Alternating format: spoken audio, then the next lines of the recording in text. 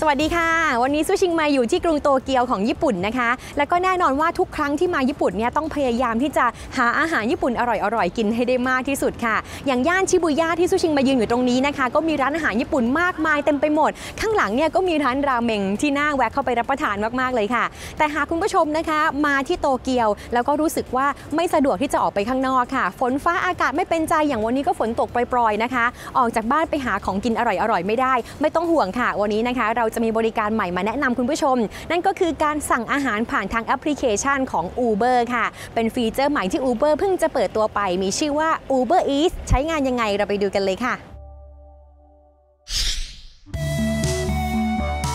Uber ประเทศญี่ปุ่นประกาศเปิดตัวบริการในแอปพลิเคชันใหม่ที่มีชื่อว่า Uber Eats ให้ลูกค้าชาวญี่ปุ่นสามารถสั่งอาหารมารับประทานได้ที่บ้านง่าย ๆ ด้วยการกดสั่งผ่านแอปพลิเคชัน โดยอาหารที่สามารถสั่งได้ก็มีให้เลือกหลากหลายเลยค่ะ ตั้งแต่อาหารรับประทานง่าย ไปจนถึงอาหารจากพัตตาคารหรูระดับมิชลินสตาร์เลยทีเดียว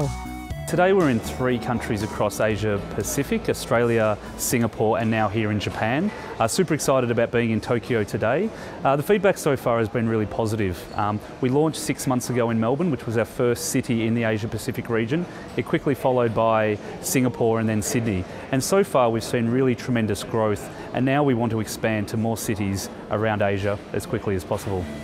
หลักการทำงานของ Uber Eats ก็คือ Uber ทำหน้าที่เป็นคนกลาง ที่เชื่อมโยง 3 ส่วนเข้าหากัน ซึ่งก็คือร้านอาหาร ผู้จัดส่งและลูกค้า โดยการใช้เทคโนโลยีแบบเดียวกับที่ Uber ใช้ ในการให้บริการเรียกรถผ่านแอปพลิเคชันอย่างทุกวันนี้ค่ะเมื่อลูกค้าดาวน์โหลดแอปพลิเคชัน Uber Eats และกดสั่งอาหาร แอปพลิเคชันจะส่งออเดอร์ไปยังร้านอาหารที่จะกดรับ และปรุงอาหารทันที จากนั้นแอปก็จะมองหาผู้จัดส่งให้มารับอาหารไปส่งให้ลูกค้า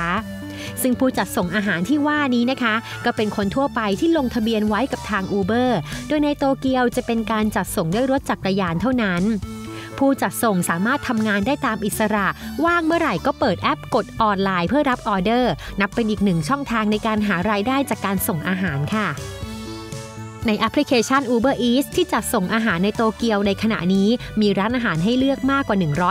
150 ร้าน ซึ่งทาง Uber บอกว่ากว่า 60%ของร้านอาหารที่เข้าร่วมทั้งหมด เป็นร้านที่ไม่เคยให้บริการจัดส่งมาก่อนเลยค่ะ แล้วก็มาเริ่มกับ Uber Eats เป็นครั้งแรก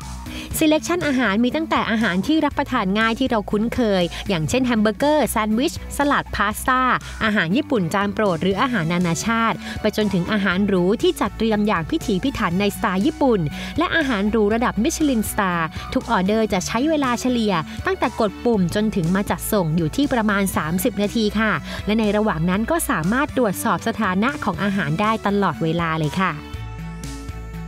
ในช่วงที่เพิ่งเปิดให้บริการ Uber Eats จะมีโปรโมชั่นอาหาร 1 เหรียญ คือมีเมนูพิเศษจากร้านอาหารหลากหลายแห่งที่คิดราคาเดียว คือ 1 เหรียญญี่ปุ่นหรือ 500 เยน เพื่อให้ลูกค้าสามารถสัมผัสประสบการณ์อาหารหลากหลายเมนูได้ในราคาที่ไม่แพงค่ะ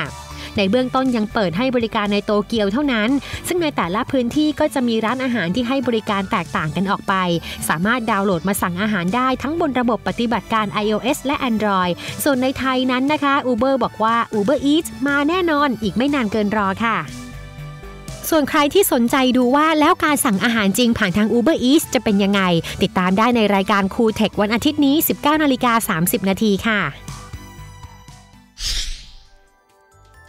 เนื่องจากตอนนี้นะคะ Uber Eats ยังไม่เปิดให้บริการในเมืองไทย เพราะฉะนั้นค่ะหากคุณผู้ชมมาเที่ยวที่โตเกียวนะคะ ก็อย่าลืมค่ะดาวน์โหลดแอปพลิเคชัน Uber Eats แล้วก็ลองสั่งให้อาหารมาส่งที่ที่พักดูนะคะ จะได้เป็นประสบการณ์แปลกใหม่ของการมาเที่ยวญี่ปุ่นด้วยค่ะ วันนี้หมดเวลาแล้วสู้ชิงลาคุณผู้ชมไปก่อนค่ะ พบกันใหม่คราวหน้า สวัสดีค่ะ